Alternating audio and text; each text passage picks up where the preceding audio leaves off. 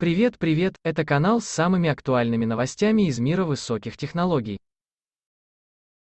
У новорожденных паучат, как и у взрослых, 4 пары глаз и одинаковое количество фоторецепторов. Разница, однако, заключается вовсе не в количестве, а в размере, поскольку молодые особи намного меньше взрослых, то и рецепторы у них меньше, да еще и упакованы куда более плотно.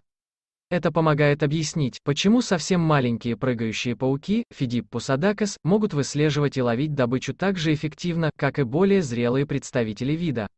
Команда исследователей решила эту головоломку, создав специальный микроофтальмоскоп, мало чем отличающийся от инструмента, используемого глазными врачами, чтобы изучить зрение прыгающих пауков. Потребовались годы, чтобы осуществить это, но в результате ученые получили беспрецедентный взгляд на то, как все восемь глаз паука развивались с рождения. Было обнаружено, что у пауков в глазах те же 8 тысяч фоторецепторов, что и у взрослых, но меньшего размера.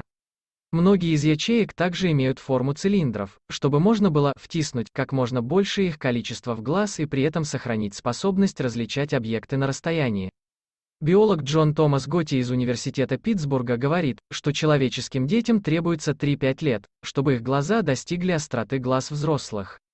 А вот паучата видят так же хорошо, как их родители, только вылупившись из гнезда.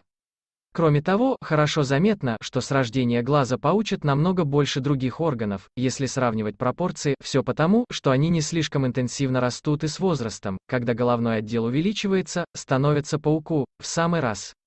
Однако отличие все же есть, к примеру, молодые паучата видят в темноте хуже взрослых, потому что в их глаза попадает меньше света. Поэтому они немного неуклюжие в движениях, хоть и могут сами добывать себе пищу.